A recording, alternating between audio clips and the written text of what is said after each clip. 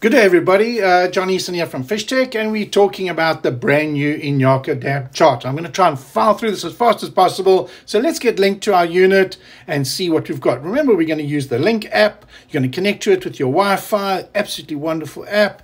Um, has some connection errors sometimes, a little bit frustrating, but uh, when it does connect, wonderful. There we go. We're good. Remember, guys, the first thing you want to do uh, is always change under more options. Um, go to your Navionics. Always change it to Navionics. Okay, I've left my cursor on the right area, just above Maputo here, Nelspruit, White River. It's a little town nearby here. It's not on the chart, but it's called the Hazyview. There it is there. You're going to go back to your uh, more options. You're going to go to your chart, and you're going to select Injaka Dam. Okay, what's going to happen here is you're going to get this view. You're going to zoom in on that and you're going to get these strange colors, you're going to get contours, okay? But you're not going to have the satellite. So the first thing you want to do is you want to turn your satellite on. So there we go, chart options, go to your photo overlay, don't make it full, just make it land only. We can use full later when we just want to see the contours without the colors. But for now, we do want to use the actual colors.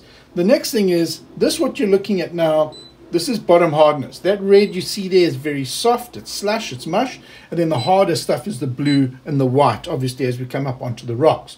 However, if you want to see the actual depth contours, you're going to turn off bottom composition. There we go. Bottom composition should disappear. There we go. Now you've just got depth data.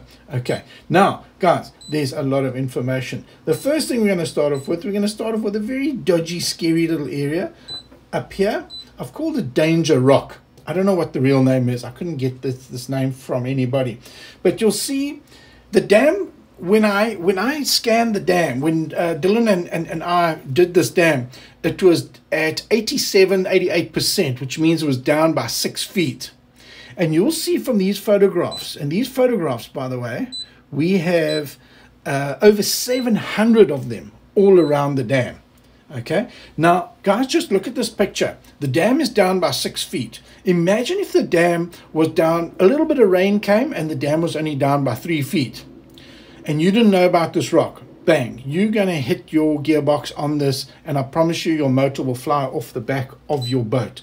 It is a serious piece of structure, I can tell you. That that will that will not be friendly to your to your motor. Okay, so just keep that in mind. Things like this you really want to stay away from completely. Um, the other thing to keep in mind is remember our charts, all FishTec charts. Um, the first thing you do when you get onto the water is idle out and establish what the actual depth is compared to the uh, chart depth, the contour chart depth, and then uh, do a little bit of maths in your head to just keep in mind for the rest of, of the day. Unfortunately, uh, Lowrance does not have uh, a depth correction, which is which is quite a nice uh, tool, and maybe one day we'll we'll see it. I just want to show you something here. Um, I said to you, you can look at just the satellite, okay? Um, so what you can do is under your chart options, you're going to go to full. So there you've got your satellite and you've got your contours around it. But guys, if you look at that in, in your satellite, and this is a reasonable uh, resolution chart for, for South African waters. I know in the States it's a lot clearer, but um, it's very difficult to make out what that is. So what uh, we, we actually did was we took some photographs of that.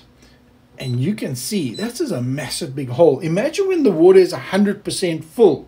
You're going to have like this little dam of sorts here um, and if the water's dirty, look, Injaka is actually quite clean. It's quite nice. So, so, so you probably would would see it. But uh, we just thought it would be nice to add quite a few photographs in here so you can get an idea of what you've got um, inside uh, this this this hole here. Okay, so so just keep in mind there are a lot of these photographs. Like I said, there's about 700 of them here. Uh, 436. I don't want to spend. There we go. I don't know if this was an old resort, but you can see from that watermark there, you can see by how much the actual dam is down. It's about six, six and a half feet is what I measured from the water level up to that uh, uh, watermark there. So yeah, just keep that in mind. Now guys, the other thing that we've got is we've got our Ultra HF. The Ultra HF, we've got west and east. East is from the dam wall side all the way north. So that will be this area here. You're only going to have 10 foot contours because we don't want to clutter it. We're going to go to our chart options and we're going to make our photo overlay full. And there it is. There it is there. Okay. You can see there's some um, buildings still in the water there. And then from this waterfall area, if we go back, back, Ultra HF, go back to Injaka, just to see this photograph here, it's just so that you can get a good idea of what this looks like here. There's like a little waterfall runoff weir type, type setup there. Okay, just so that you know exactly what you are looking at. Um, there we go. This was the uh, sorry this was east and that's it okay so so that's how how you're going to do it if these lines however are annoying to you and you say no i don't want to see the lines at all all you're going to do is you're going to go to your chart options go to categories and you can turn the lines off and then the lines are off and then you're only going to have um, the side scan mosaics okay? Just keep that in mind. Like for instance here by these big trees here this is also quite an interesting area. We're going to go back to Injaka I just want to see if there's some photographs here.